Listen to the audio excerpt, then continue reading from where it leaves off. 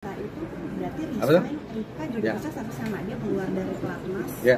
atau pensiun. Ya, secara lisan baru disampaikan seperti itu. Ini karena sebetulnya Ripka ini kan akhirnya ramai di sosial media. Secara resmi memang PBSI juga belum menyampaikan.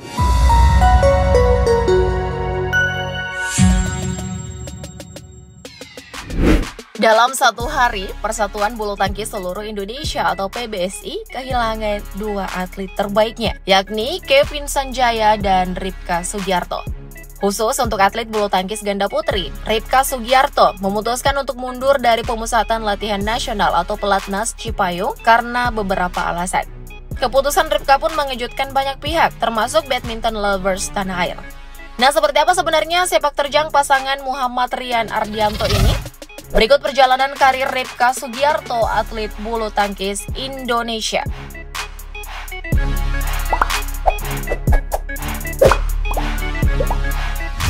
Ripka Sugiarto dianggap badminton lover sebagai salah satu pemain ganda putri Indonesia yang berparas cantik. Ripka yang lahir di Karanganyar, Jawa Tengah 22 Januari 2000 ini memulai perjalanan bulu tangkisnya sejak usia 13 tahun dengan bergabung bersama klub PB Jarum. Bakatnya yang luar biasa akhirnya membawa Ripka bergabung dengan pelatnas Cipayung pada tahun 2017. Sejak saat itulah prestasi demi prestasi berhasil ia raih, mengharumkan nama Indonesia di kancah internasional. Ripka pun merupakan peraih medali emas pada kejuaraan Asia Junior 2018 kala berpasangan dengan Pramudia Kusumawardana. Waktu itu Ripka turun di ganda campuran yang kemudian belakangan turun di ganda putri. Nah, Ripka pun terus menunjukkan ketangguhannya di lapangan dengan mencetak sejumlah prestasi cemerlang yang membanggakan. Di antaranya, Ripka pernah meraih medali perak kejuaraan dunia junior BWF 2017 dan 2018, lalu runner-up Finlandia Open 2019, runner-up Malaysia International 2019, juara Malang Indonesia International 2020, Bahrain International 2022, dan terakhir sebelum pensiun Ripka meraih medali perak di ajang beregu Piala Uber 2024. Sebelumnya lagi, Ripka sebenarnya pernah meraih medali perak di SEA Games 2019 dan 2021, serta gelar juara di Swiss Open 2024. Tak hanya itu, Ripka juga pernah berhasil meraih tiga gelar juara di Indonesia Master Super 100. Karena para Ripka yang cantik dan menawan, tak heran bila pemain ganda putra terbaik Indonesia, Muhammad Rian Ardianto, jatuh hati kepadanya. Awalnya nih guys, hubungan mereka sangat terjaga rapat karena memang mereka ingin tetap fokus menampilkan permainan terbaik di lapangan. Menjauh dari suara bising warganet jika mereka tampil buruk, namun perlahan tapi pasti hubungan mereka makin terbuka di media sosial. Saling menunjukkan keseriusan hingga akhirnya mereka tunangan dan bakal menikah di tahun 2024 ini. Di balik itu, Ripka memutuskan gantung raket di usia yang masih sangat muda, yakni 24 tahun. Keputusannya ini disampaikan Ripka melalui akun Instagram pribadinya pada Kamis 16 Mei 2024 lalu. Dalam unggahannya, Ripka menuliskan pernyataan yang berbunyi, Alhamdulillah selesai sudah perjalananku di badminton. Selalu bersyukur apa yang udah dicapai dan dijalani sampai sekarang. Tidak ada penyesalan buatku untuk mengambil keputusan ini karena sudah aku pikirkan cukup lama dan sekarang mungkin waktu yang tepat. Terima kasih teman-temanku yang sudah ikut serta juga di dalam perjalanan hidupku. Semoga kalian sukses semua di jalannya masing-masing. Terima kasih juga yang sudah support aku dari kecil sampai sekarang. See you on top guys. Menjadikan banget ya kalimat Ripka. Mimin bakal kangen nih dengan aksi-aksinya di lapangan. Nah, Muhammad Rian Ardianto pun buka suara soal mundurnya Ripka dari pelatnas PBSI. Hal ini memang sangat berkaitan dengan Rian, mengingat ia adalah tunangan dari Ripka. PBSI sendiri secara resmi sudah mengumumkan bahwa Ripka telah mundur dari pelatnas PBSI. Ripka pun sebelumnya telah menyampaikan keputusan tersebut secara lisan kepada sang pelatih, Eng Hiet. Nah, Kepala Bidang Pembinaan dan Prestasi PPPBSI, Riki Subagja pun membenarkan bahwa atlet Ripka Sugiarto pensiun dari pelatnas secara lisan.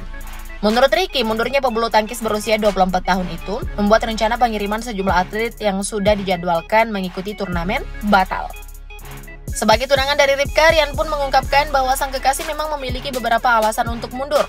Dalam sebuah kesempatan, Rian menuturkan bahwa mereka tengah mempersiapkan pernikahan. Nah, dalam persiapan pernikahan dengan Ripka, rekan duet Fajar Alfian tersebut tidak bisa ikut banyak berperan. Sebab pada kondisi saat ini, Rian harus mengerahkan seluruh fokusnya untuk berlaga di Olimpiade Paris 2024. Sementara itu mereka menjadwalkan pernikahan setelah Rian tampil di Olimpiade Paris. Karena itu, kata Rian saat diwawancarai di Pelatnas PBSI Cipayung pada Kamis 16 Mei 2024 lalu, banyak pertimbangan bagi Ripka dan memang di tahun ini mereka akan menikah. Jadi ada baiknya Ripka fokus buat mempersiapkan pernikahan kami. Di samping itu, Ripka selalu memberi support kepada Rian agar fokus untuk tampil terbaik di Olimpiade. Nah, selain soal pernikahan, Rian juga mengungkapkan bahwa dengan kondisi fisik dan peta persaingan ganda putri, Ripka lebih memilih mundur. Hal ini merupakan keputusan terbaik, meski pada Maret lalu Ripka sempat menjuarai Swiss Open 2024 bersama Leni Tria Mayasari. Karena itu, Ricky Subagja mempertegas dengan mengatakan bahwa PBSI menyayangkan keputusan Ripka Sugiarto mundur dari pelatnas. Pasalnya, Ritka bersama pasangannya di ganda putri sempat meraih gelar juara Swiss Open 2024 dan memperkuat Indonesia di ajang Piala Uber 2024.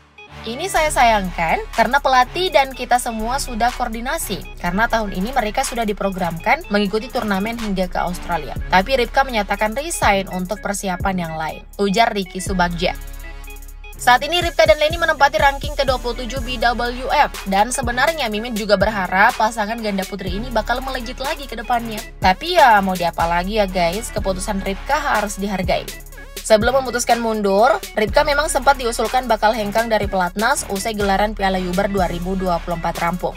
Ternyata isu tersebut menjadi kenyataan, sebab Ripka dan Rian yang sudah tiga tahun pacaran dan resmi tunangan pada 23 Desember 2023 lalu bakal melangsungkan pernikahan tahun ini. Rian pun buka suara bahwa selama ini Ripka tetap memaksakan diri mengikuti pelatnas meskipun hasilnya tidak maksimal. Menurut Rian, Ripka juga sudah memiliki keinginan mundur dari pelatnas sejak akhir tahun 2023 lalu. Namun, Rian mencoba untuk menahan keinginan sang kekasih dan tetap bertahan walau keputusan akhirnya memilih pensiun.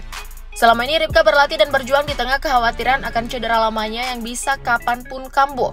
Cedera itulah yang juga menjadi alasan Ripka memutuskan mundur dari pelatnas PBSI. Ripka sudah mencoba berjuang selama setahun terakhir. Secara latihan pun terkadang Ripka sering kesulitan untuk mengimbangi porsi yang diberikan karena kondisi cedera tersebut. Misal Ripka latihan, yang lain latihannya 20 kali smash, Ripka hanya maksimal 10 atau 15 smash saja. Ripka pun memilih mundur dari pelatnas karena ia juga melihat peta persaingannya dan dari cederanya ia sering ganti partner. Jadi pilihan pensiun adalah solusi terbaik bagi dirinya. Nah, keputusan Ripka untuk pensiun dini tentunya menjadi kehilangan besar bagi dunia bulu tangkis Indonesia. Namun, keputusan ini juga harus dihormati sebagai bagian dari perjalanan hidup seorang atlet. Ripka Sugiarto telah memberikan yang terbaik dalam karir bulu tangkisnya dan meninggalkan jejak prestasi yang membanggakan, mengharumkan nama Indonesia di kancah internasional. Semoga keputusan Ripka ini juga bisa menjadi inspirasi bagi para atlet muda lainnya untuk selalu berusaha memberikan yang terbaik dalam setiap kesempatan. Terima kasih Ripka Sugiarto untuk semua pengorbanan dan prestasi yang sudah kau curahkan untuk Indonesia. Selamat menempuh hidup baru. Nah, kira-kira menurutmu guys, performa Ripka memang sudah makin menurun atau sebenarnya ia sudah jenuh di pelatnas? Hmm, komen di bawah ya. Thank you, update lovers.